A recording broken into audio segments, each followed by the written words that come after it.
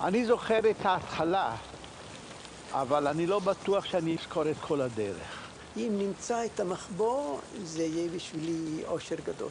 אם נמצא זה טוב, אם לא נמצא זה גם כן טוב. זה לא גורלי. ואנחנו לא נמצא היום, אז נמצא מחר. לא נמצא מחר, אני אחזור להנה לעוד שבוע. אני אביא שק שינה, אני אביא שק שינה. איפה מהם מחכה לו? ממי, איך אתה מרגיש? בסדר. לעלות מפה, ממי? כן, כן.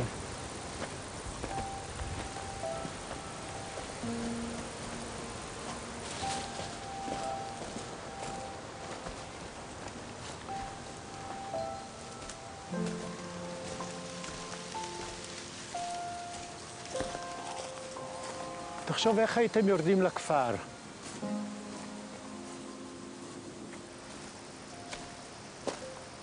ממי אומר שזה מעבר לקו האופק על הגבעה הזאת. ממי, בוא נמשיך.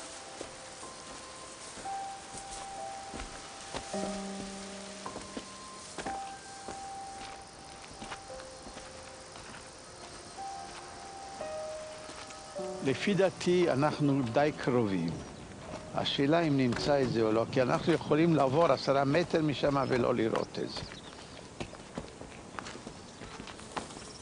רובי, אתה בטוח שלא כדאי מפה לעלות? אני לא בטוח כלום. אנדריה, כן.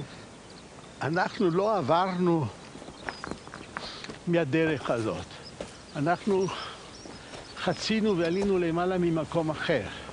ככה אנחנו לא בשביל הנכון, אבל אנחנו קרובים מאוד.